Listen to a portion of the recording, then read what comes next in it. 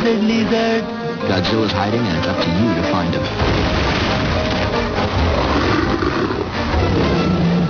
Uh-oh. I think I need a bigger box.